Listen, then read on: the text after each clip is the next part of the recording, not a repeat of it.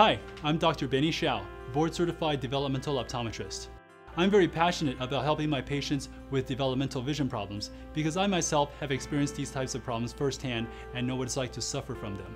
When an individual has a developmental vision problem, usually they have one of three responses.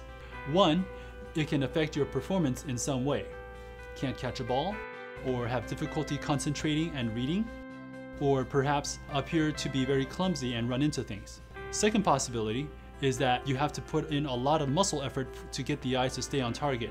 Now when that happens, usually that individual ends up becoming very nearsighted or developing some kind of high prescription in the two eyes. The third possibility is that you give up trying to use both eyes, in which case you develop a lazy eye, an eye turn, or a large power difference between the two eyes.